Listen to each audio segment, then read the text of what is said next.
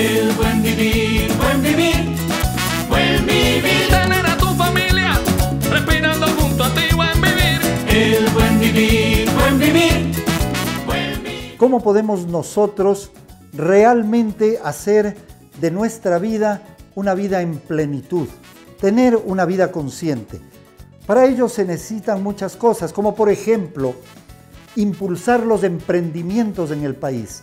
¿Para qué? Para generar trabajo, para exportar más, para tener la satisfacción de que de este país, de nuestra población, salen ideas que las comienza a acoger el mundo entero. Y hay algunos buenos ejemplos. La Universidad Técnica Particular de Loja ha creado un programa muy interesante. Vean ustedes lo que nuestros jóvenes están comenzando a hacer. Robots, pisos inteligentes, bebidas tradicionales de exportación, videojuegos y películas en tres dimensiones. Innovadores proyectos de los jóvenes emprendedores ecuatorianos. La Universidad Técnica Particular de Loja busca mantener una red nacional en donde este tipo de proyectos sean exhibidos y compartidos, además de una plataforma de Internet para ofertar productos al exterior, generar trabajo y conectarlos con nuevos mercados. El Centro de Emprendimiento es una incubadora y una aceleradora de, de, empresas y emprendimientos que nace al amparo de la Universidad Técnica Particular de Loja. Visitamos a estos futuros inventores e innovadores y mantuvimos una reunión con quienes han apoyado lo que hoy es un gran sistema de prometedoras ideas para el país. Tenemos que saber quiénes somos y sabemos que nosotros tenemos unas capacidades. No podemos vivirlas a medias. Es más, no nos podemos conformar ni ser felices si vivimos a medias cualquiera de nuestras capacidades con las que hemos nacido.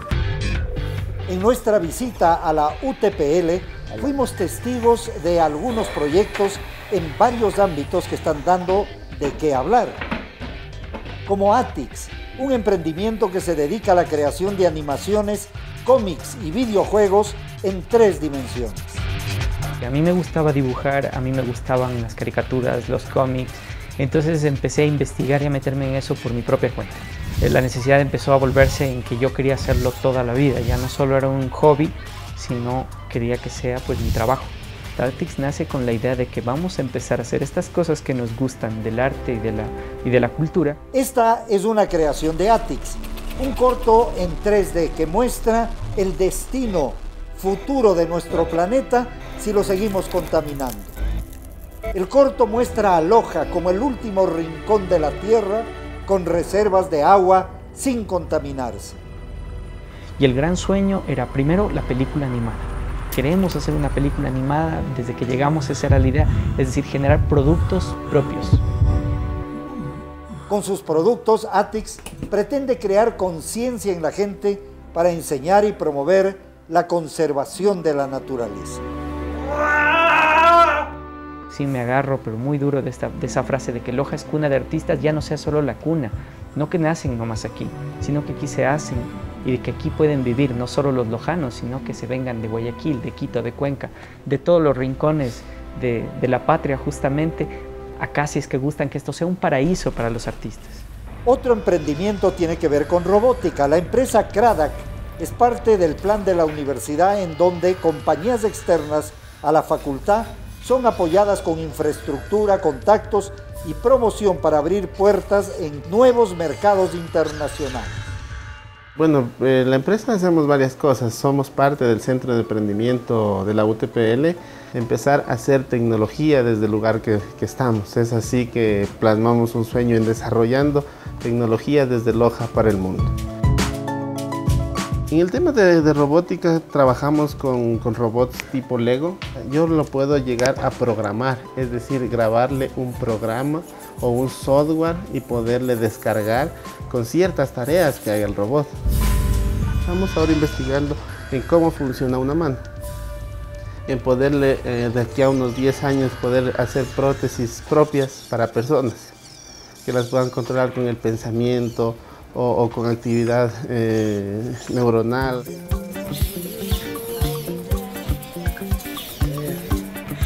Ahí abre la mano. Pero además de, eso, en la robótica nos permite también ayudar o colaborar en la educación. Se llega a enraizar el proyecto Genios, en el que el objetivo es poder dar cursos de robótica a niños en tempranas edades, para que desde pequeños ellos vayan viendo que se pueden hacer las cosas, a creer que no solamente en el extranjero se hace robots, que ellos puedan hacerlos, programarlos y hacerles que hagan diferentes tareas a su lenguaje o a, su edad lo que ellos comprendan como lo que es un robot. El emprendimiento de energía verde utiliza fuentes energéticas no tradicionales como el sol, el viento y la fuerza del hombre. En este emprendimiento nosotros trabajamos en algunas líneas estratégicas, pero sobre todo nos basamos en el, tema de energías renovables. Eh, nosotros trabajamos ahora con sistemas fotovoltaicos, sistemas eh, eólicos y piezoeléctricos. Eh, tal vez el tema piezoeléctrico sea un poco más nuevo, más moderno. Energía Verde ha propuesto la utilización de baldosas generadoras de electricidad. En un futuro cercano podremos generar luz eléctrica o cargar nuestros teléfonos mientras caminamos o trabajamos. Y una gran idea, el Forest horchata de exportación con calidad y excelencia para competir con marcas reconocidas internacionalmente. Estamos en los laboratorios de CETIA, que es junto a de la Universidad Técnica Particular de Loja. Este es el emprendimiento de, la, de un producto de bebida refrescante que se llama Forest Tea, que es una infusión de 20 hierbas eh, seleccionadas de diferentes tipos de plantas que la convertimos en, que es normalmente aquí en Loja la conocemos como horchata. Nuestro producto Forest Tea, por ejemplo, inicia, inicia desde la, la, compra de la materia prima de las comunidades que cumplan todas las normas de calidad, como ustedes pueden ver. Luego de esta, de este, de este, de esta compra nosotros seleccionamos las, hierbas cumpliendo todas las normas de calidad para tener un buen producto pasamos a, lo que es después a la infusión de las 20 hierbas. Luego de la infusión pasamos a la envasadora, que es la que se encarga de obviamente vertir nuestro producto en las, en las botellas. Pero sí es un producto que sí va a favor de la salud, de que no es lo mismo consumir bebidas gaseosas o bebidas artificiales que nosotros decimos que les den a sus hijos, a darle un producto natural que tiene un sabor único, que se lo ha probado en nuestra ciudad de Loja generación tras generación, que es es un, plus que nos va a dar y beneficiar a todos. La educación es fundamental para poder alcanzar el objetivo del buen vivir. Si no nos educamos será imposible practicarlo. En Loja, estos emprendimientos están demostrando ser proyectos de gran ayuda para cambiar nuestra forma de pensar y de vivir Ahora nos queda seguir apoyándolos y encaminándolos para poder disfrutar en el futuro de beneficiosas y eficaces realidades. Es una satisfacción muy grande el poder quedar bien, el poder confeccionar estos uniformes a que se van a poner esos niños que son el futuro de la patria.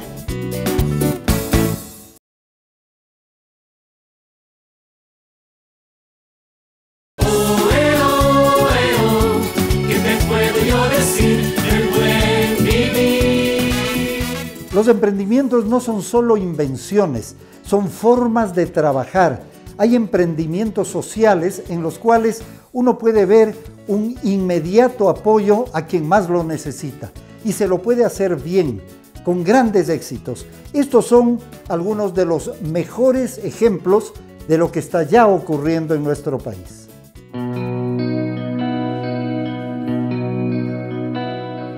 Cuando terminó la tercerización laboral, más de 100 obreras de las empresas textiles Pinto se quedaron sin trabajo. La urgencia por conseguir una fuente de ingresos para mantener a sus familias encontró eco en el Ministerio de Trabajo y en el de Inclusión Económica y Social para crear la cooperativa de producción textil artesanal Punto Ecuador. Aquí, los altos mandos de la empresa no le hacen cara fea a las máquinas. El hecho de que somos dueñas, no estamos solo administrando y viendo adentro en la oficina. También nos sentamos aquí a trabajar. Somos de la puerta para afuera, somos, como se dice, socias y dueños de la empresa. Pero acá de la puerta para acá somos también trabajadoras. Estas mujeres decididas por una mejor vida para los suyos creen que su mayor legado es su ejemplo de emprendedoras. Beneficio es que, como se dice, un negocio propio, que se le pone ñeque para conseguir trabajo y tenemos nuestra fuente de trabajo seguro. Y así con esas agallas que tenemos también podemos enseñar a los nuestros, a los hijos, que también sean emprendedores. Han cumplido con los requisitos para legalizar su cooperativa, entre los que destaca la asociatividad, la que les ha permitido ser merecedoras de ayudas institucionales. Nos dan una cantidad de acuerdo a los participantes que hay. A nosotros nos dan un poquito más por ser asociación. Y como es esto legalizado ante la ley todo, entonces nos toman en cuenta por el número de trabajadoras también que tenemos. Su visión es constituirse en el mejor centro de producción textil que genere empleo dentro del modelo cooperativo. Nuestra misión es ofrecer productos de buena calidad que sean aceptados en el mercado nacional. Estas mujeres no se contentan solamente con producir. Lo importante es que sus prendas sean útiles, con bonitos diseños y quienes las luzcan se sientan cómodos y elegantes. Es una satisfacción muy grande el poder quedar bien, el poder confeccionar estos uniformes a que se van a poner esos niños que son el futuro de la patria. Entonces uno se siente feliz ya. Al fin se fue, se entregó, no hubo regreso de prendas. Nosotros le confeccionamos con amor y vida y que se vaya bien hecho. Regresan entregando, es un alivio, una tranquilidad muy grande.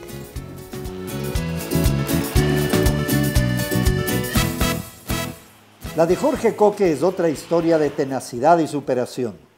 Comenzó como albañil y cien oficios, hasta que se estabilizó como ayudante de vulcanizador. Le gustó el trabajo, se independizó, ahorró, se compró un compresor de segunda, luego una prensa y algunas gatas, pero lo mejor fue asociarse. Ahora es el más entusiasta en posicionar la marca socio vulcanizador. Nunca, nunca se han acordado de nosotros los maestros vulcanizadores, nadie. Y por eso es que nosotros nunca hemos podido salir adelante.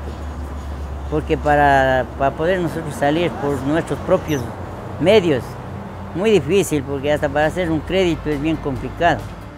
El crédito le ha permitido mejorar sus herramientas, su taller, sus condiciones de vida y trabajo.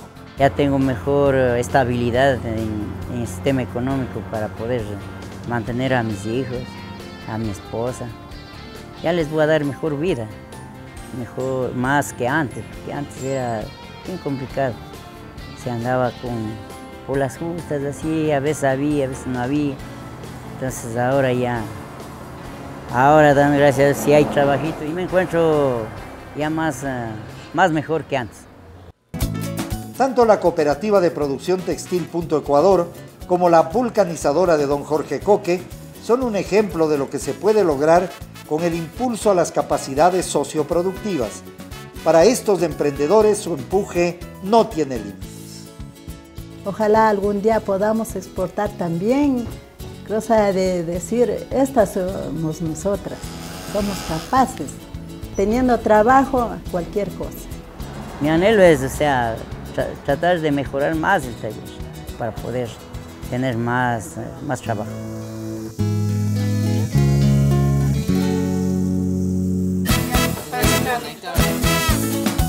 Ya era hora de que en Ecuador empecemos a hacer este tipo de proyectos a este nivel, a nivel del colegio, trabajar con los estudiantes de esa edad de 15, 16 años. Nosotros con este carro queremos apostar a la ciudad y con esto queremos llegar que se masifique este carro en la ciudad de Cuenca.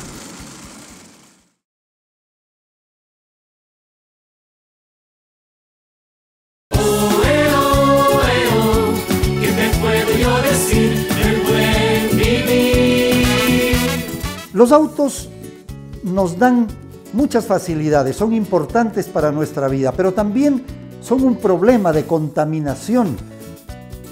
Podría pensarse en un auto bioamigable, en un vehículo que no solo nos transporte, sino que sea un vehículo verde. El Colegio Alemán de Cuenca tiene una propuesta para el país que nos da mucha esperanza en lo que nuestros jóvenes son capaces de hacer para construir una nueva civilización humana. Quizás han dejado de jugar un poco menos en las canchas, pero un grupo de estudiantes del Colegio Alemán de Cuenca prefirió llevar sus juegos a un taller, donde felizmente hubo los profesores adecuados que dieron crédito a sus inquietudes por disparatadas que éstas puedan parecer. Un día uno de los niños que tenía 13 años, que es mi hijo, había hecho un, un autito con desechos y lo, lo puso una pila recargable de energía solar para un trabajo del colegio.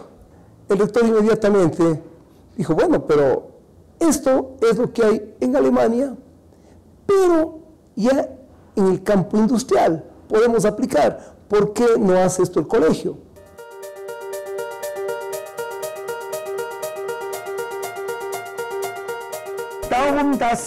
La idea es que no se trate de comprar productos terminados, sino que los jóvenes tienen que aprender a ser útiles y construir y desarrollar cosas por ellos mismos y no comprar las cosas ya hechas. Todos los días que íbamos a trabajar, eh, veíamos el carro igual, no veíamos un avance en el carro y a veces nos daba ganas de decir, aquí acabó el carro, no avanza más el carro. Pero después fue comenzando a tomar un poco más de forma el carro, ya comenzó a tener ya una dirección, comenzó a tener ya el asiento, entonces sabemos que nos faltaba poco. La cuestión es esta, de que formar en el estudiante esa actitud positiva para enfrentar a los problemas y solucionar los problemas. Es la vieja sabiduría de hacer camino al andar. Hasta que por fin, ya cuando le vieron con llantas, ya fue otra cosa. Después ya que le vieron con asiento, ya estaban emocionadísimos. Y luego hicimos las conexiones de las baterías, en conexiones en serie de las baterías. Cada quien se encargaba de una parte. Empezaban a, a medir la, la, tensión. Entonces eso era eh, más motivante para ellos. Yo también me fui integrando y vi que ese trabajo podemos hacerlo todos. Claro que cuando es de fuerza, tal vez no tanto, pero que una mujer también puede participar tranquilamente en un proyecto como estos. La mecánica cada vez se abre para la igualdad de géneros y a fin de cuentas me integré tan bien con mis compañeros, hicimos un chévere grupo y un buen proyecto.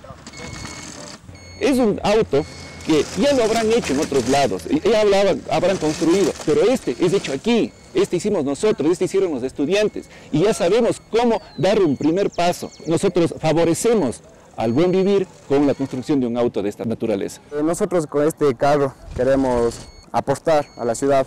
Y con esto queremos llegar que se masifique este carro en la ciudad de Cuenca, que la ciudad de Cuenca tome esto como un bien. Dije, por fin, ya era hora de que en Ecuador empecemos a hacer este tipo de proyectos a este nivel, a nivel del colegio, trabajar con los estudiantes de esa edad de 15, 16 años, era un, reto que lo asumimos con mucho optimismo.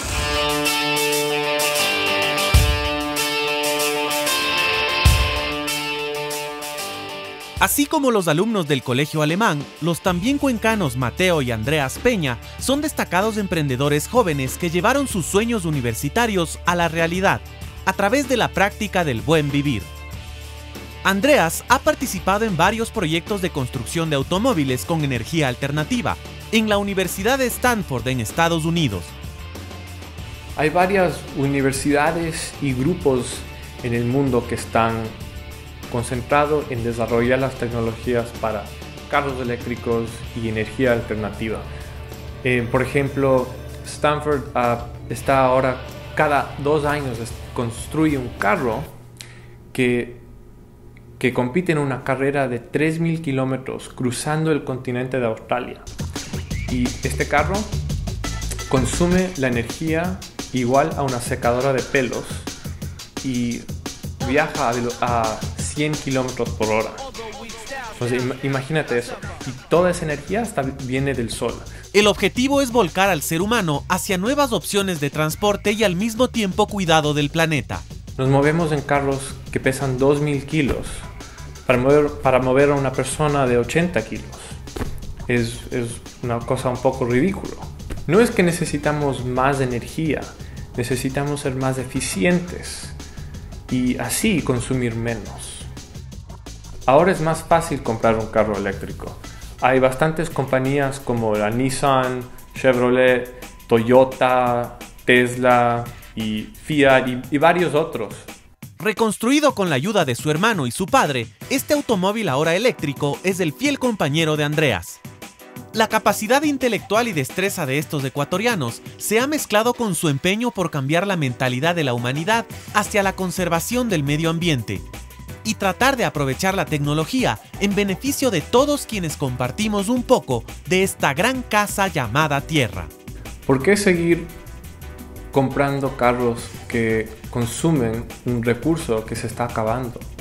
Es fácil decir, no, no debemos sacar el petróleo, pero parar de usar el petróleo es otra cosa. Y es, eso es lo que tenemos que hacer para cambiar nuestro estilo de vida y mejorar el medio ambiente.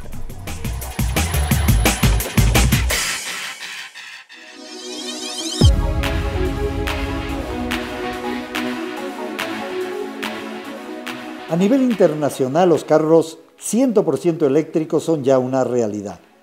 Si usted pensó que esta era una nave espacial con dirección a Marte, pues se equivocó. Sí, se trata de una nave, pero más convencional y familiar de lo que usted cree. Le llaman hoja y para conducirlo necesita simplemente un par de baterías. No usa ni gasolina ni diésel. Es un auto totalmente eléctrico, un vehículo que no produce combustión, que no utiliza ningún tipo de combustible, sino que únicamente es eh, alimentado por un paquete de baterías de ion litio y esta a su vez eh, alimenta un motor eh, eléctrico asíncrono que es el encargado de producir la potencia, el torque, el par al motor ¿no? y al vehículo. El Leaf es un auto eléctrico que está dando que hablar en países como España, Estados Unidos, Inglaterra y uno de sus prototipos está recorriendo las calles del Ecuador. Actualmente es el único vehículo eléctrico que, tenemos en circulación en el país, ¿no? Es un vehículo, bueno, en este momento es un vehículo que está con una internación temporal, ¿sí? Y que obviamente lo, hemos tenido para hacer pruebas de rendimientos em, aquí en nuestro país, ¿no? Y es una primicia realmente tener esta tecnología de, de primer orden aquí en nuestro país, ¿no? En el Ecuador. Entre sus características estelares se destaca su velocidad máxima de 145 kilómetros por hora y 107 caballos de fuerza. Es como estar manejando un automóvil convencional con un motor 1600. Fuerza de salida realmente te, lo, te puedo decir que es, tiene el torque de salida mayor a un X-Trail, a un Nissan X-Trail que es un 4x4, ¿no? Sí, le hemos hecho las pruebas eh, de ruta, o sea, manejando, y hemos podido verificar, hemos podido comprobar que el par de salidas, o sea, la fuerza con la que sale el vehículo es mayor a la que entrega, por ejemplo, un Nissan X-Trail. Sí, sí, y en potencia sí podemos compararlo más o menos con un motor de combustión de unos 110 caballos de fuerza, que más o menos sería un motor 1600, 1800 de un motor eh, a combustión, ¿no? Con una sola carga, el Leaf puede recorrer una distancia de 236 kilómetros, casi lo que toma ir desde Quito a la provincia de Esmeraldas. Por el momento, este ejemplar de Leaf está siendo utilizado para pruebas y demostraciones en la ciudad de Quito. Se espera que en un futuro pueda vérselo recorriendo las calles de nuestro país. Sin embargo, es necesario una infraestructura paralela para poder brindar soluciones a las necesidades que exige este auto del futuro. Las electrolineras son como las gasolineras, pero que obviamente lo que proporcionan es electricidad a un voltaje de 440 voltios y se demora aproximadamente en cargar las baterías de 21 a 30 minutos. En países como España, cuando donde comercializan estos vehículos, ya tienen las electrolineras, las tienen por ejemplo en centros comerciales o en puntos estratégicos donde eh, obviamente los conductores pueden eh, estacionarse, pueden parquearse y pueden cargar eh, al vehículo. ¿no?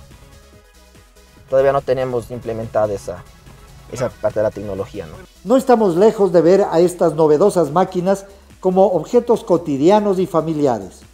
La necesidad de poseer una alternativa y dejar de una vez de contaminar el aire que respiramos nos convertirá en personas mucho más sensibles ante la grave situación mundial de polución y basura. Estos automóviles eléctricos como medios de transporte nos seguirán brindando seguridad, velocidad y confort, con la gran diferencia de que estaremos previniendo un poco más la destrucción de nuestro único hogar en el universo. Realmente el hecho de no visitar una, una gasolinera, el hecho de no tenerme que preocupar por el cambio del aceite, el hecho de no percibir el, el, el, olor a gasolina y saber que este vehículo es fabricado con materiales reciclables, para mí personalmente ha sido un, un tema de conciencia. Sea, me ha hecho pensar que justamente eh, la tecnología y todo está yendo hacia el cuidado del medio ambiente, ¿no? Y que nosotros debemos preocuparnos por ello. Si usted conoce de algún emprendimiento, si tiene una idea especial, si sabe de algo que puede ser filmado para presentarlo al país, escríbanos. Envíenos sus videos, las fotografías, las ideas. Compartir este programa con ustedes es algo muy importante para todos nosotros. Aprender juntos a caminar para construir la sociedad del buen vivir. Muchas gracias por estar siempre acompañándonos.